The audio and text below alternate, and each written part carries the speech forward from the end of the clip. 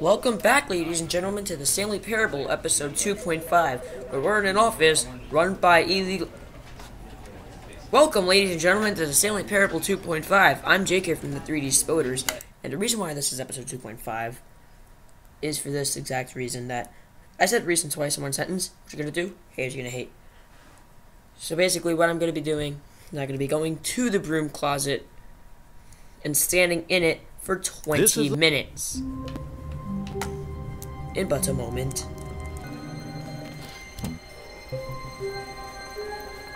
When Stanley came to a set of two open doors, he entered the door on his left. Yet there was not a single person here either. Feeling a wave of disbelief, Stanley decided to go out to his boss's office, hoping he might find an answer there. Alright, so we're here at the broom closet. I'm gonna step in in three, two, one, start. Stanley stepped into the broom closet, but there was nothing here, so he turned around and got back on track. I'm gonna let the narrator do his thing. If he just plain old stops talking, then I'll go outside and come back in. There was nothing here. No choice to make, no path to follow, just an empty broom closet. No reason to still be here.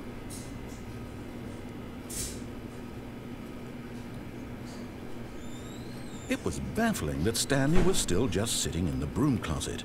He wasn't even doing anything. At least if there was something to interact with, he'd be justified in some way. As it is, he's literally just standing there doing sweet FA.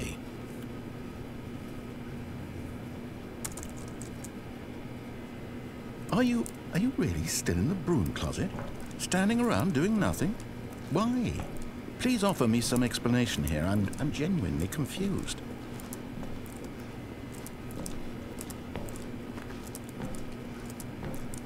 You do realize there's no choice or anything in here, right? If I'd said Stanley walked past the broom closet, at least you would have had a reason for exploring it to find out.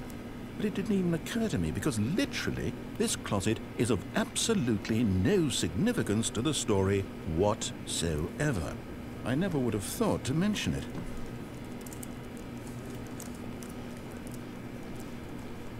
Maybe to you this is somehow its own branching path. Maybe when you go talk about this with your friend, you'll say, Oh, did you get the broom closet ending? The broom closet ending was my favourite. I hope your friends find this concerning.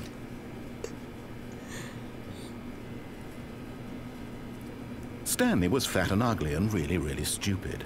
He probably only got the job because of a family connection. That's how stupid he is. That or with drug money. Also, Stanley is addicted to drugs and hookers.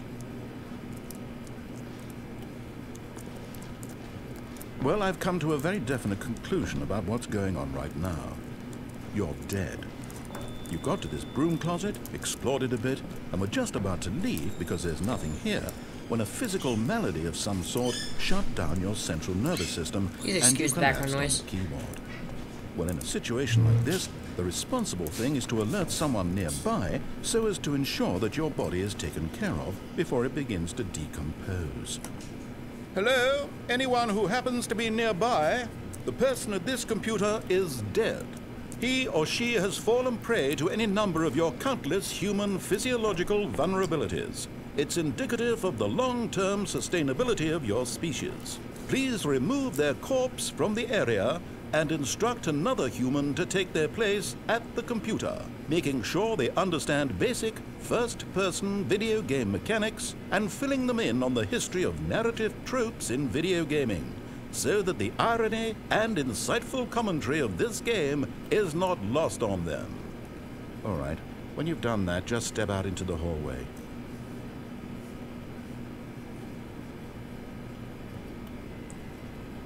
Let's wait see if he talks more.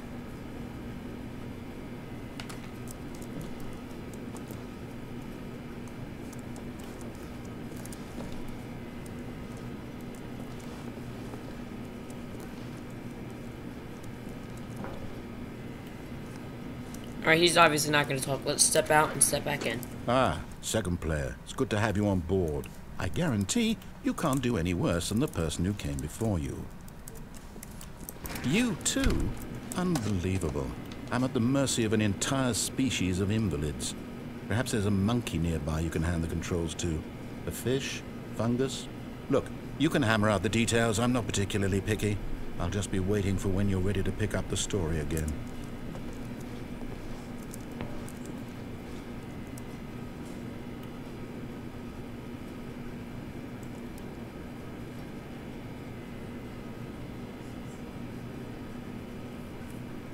That literally it?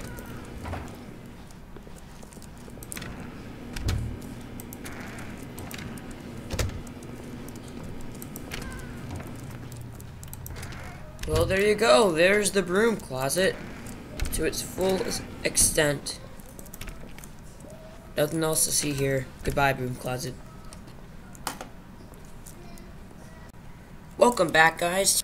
I noticed that uh, the room closet wasn't really that much, only about six minutes of commentary or footage or whatever. So now we're going to stay in the employee lounge for the rest of the episode, see how long it takes him to die out. Ah, yes, truly a room worth admiring. And I'm going to shut up It had really been worth the detour after all, just to spend a few moments here in this immaculate, beautifully constructed room.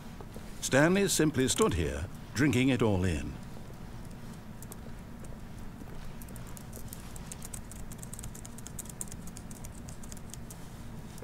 Yes, really, really worth it being here in the room. A room so utterly captivating that even though all your co-workers have mysteriously vanished, here you sit looking at these chairs and some paintings. Really worth it.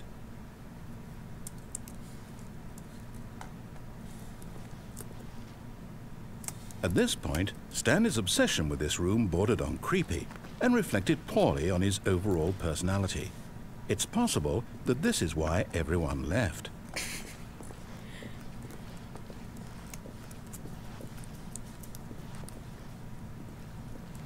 Why is this Stanley sat around waiting for more dialogue. But when a long time had passed and there was no more, he decided that the game was trying to send him a message. Hmm, maybe it isn't this. Maybe it isn't sending me a message.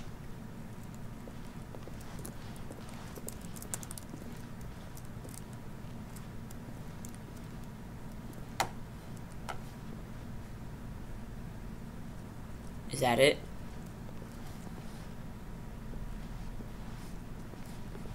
That it? Alright, that has been Stanley Parable. But at last, he'd had enough of the amazing room. It was took so the first open door on his left to get back to business. Alright, well that's been Stanley episode 2.5. If you like this, uh, I, if you liked this idea, it took me forever to come up with this one. No, it really did. Then slap that subscribe. Why does everyone say slap that, and why does it have to be involved with subscribe? Really, like I, I, I appreciate subscribers. Just saying, but uh, really, uh, like all the big people do it, so I decided I'll do it, and then I just, it it just sounds stupid coming out of my mouth. So disregard that. we'll cut that out. what am I talking about? We'll never cut that out. All right, goodbye.